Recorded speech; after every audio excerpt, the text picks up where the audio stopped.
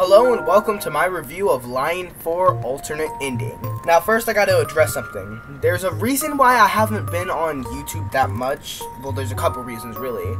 And you might be noticing one already. My hair's changing.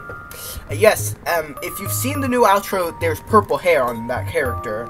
And the reason why is because I'm dyeing my hair purple. And I just really, I'm really late on these Steven Universe reviews, so I just really need to get these out here. So yeah, my hair is bleached right now. So Lion 4, compared to the other episodes of the Steven Bomb, first of all, yes, there was a Steven Bomb. It was this week, but I missed it. I, it's okay, don't worry about it. Compared to the other episodes of Bomb, it really doesn't have anything to do with it. Um, this episode, as far as I know, was actually supposed to be released um, after Room for Ruby, the week after Room for Ruby. That's when, when it was supposed to release, when they were doing weekly episodes. Um, whatever. So I'm just gonna view this episode as, as its own episode, not to, to the other episodes. I'm pretty sure you get what I'm saying. So, Lion 4.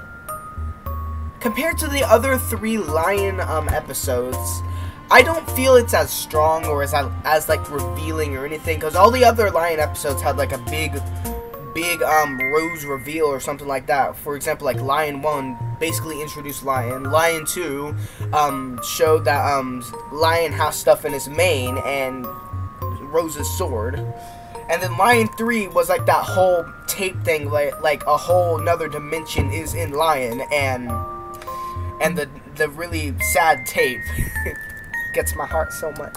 Anyway, the episode begins with um the tape from Lion 3. It, it was like, Steven, we both can't exist, stuff like that. But Steven's watching it, he's rewinding, rewinding it, trying to decode some secret messages out of it. And he's like, Alright, Lion, I this time I took the first letter of every single word in here. And he, he's just basically paranoid about finding answers about Rose. Then Lion coughs up, up a key. Steven and basically everyone both thought that it was belongs to the chest, like that chest in um in lion in the lion dimension.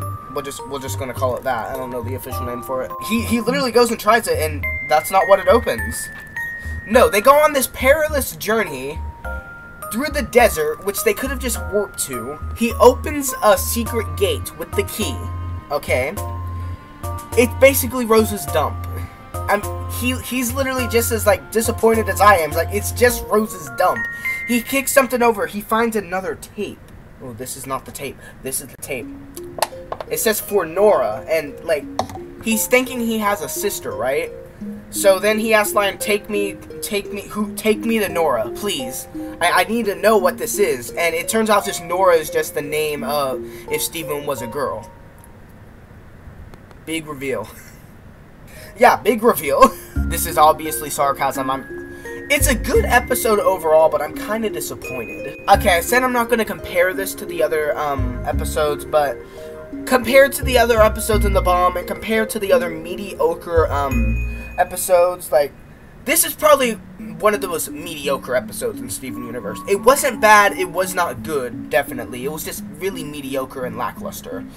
There wasn't Garnet, Amethyst, and Pearl. No one else appeared in the episode at all besides Greg, Lion, and Steven. And if you want to count Rose, then Rose. And, and, and there wasn't really a big reveal either. It was just, the, oh, if Steven was a girl, he'd be named this. What this episode did do is like it finally like put Steven at rest when it comes to searching for Rose's answers. Greg finally convinces him that his purpose is just to be their son. And like he's he's okay with that. He he's no longer like looking for answers and stuff like that. Oh, but the next episode. The next episodes. Let me just say shit's about to get real. Now I'm gonna record all these um reviews all at once. So um I'm pretty sure they should all go up today.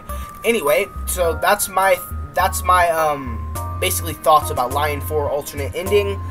Um, once again, really a disappointing episode. Not not disappointing, just lackluster compared to the other Lion episodes. But anyway, what are your thoughts? Leave your things, thoughts, whatever, concerns, angry comments about my hair in the in the comments below. And if you like what you see, please subscribe to World of Meli. We got more content besides Steven Universe. We got animation stuff. Speaking of animation, I am working my ass off on that circle and square like three-parter thing. Uh, thank you guys so much for watching, and as always, take care.